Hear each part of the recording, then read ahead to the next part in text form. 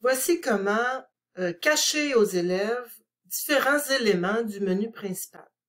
Par exemple, si je suis dans Ressources et que j'aimerais euh, dévoiler les chapitres un à la fois à mes élèves, je pourrais aller dans le mode édition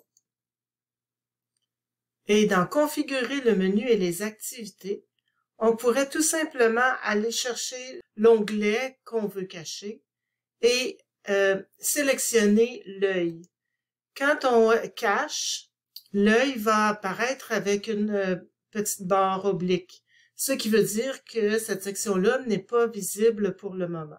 Pour la rendre visible, on a tout simplement à resélectionner cette icône et euh, l'onglet deviendra disponible à nouveau. Si on va dans les ressources, on ne voit que le chapitre 1.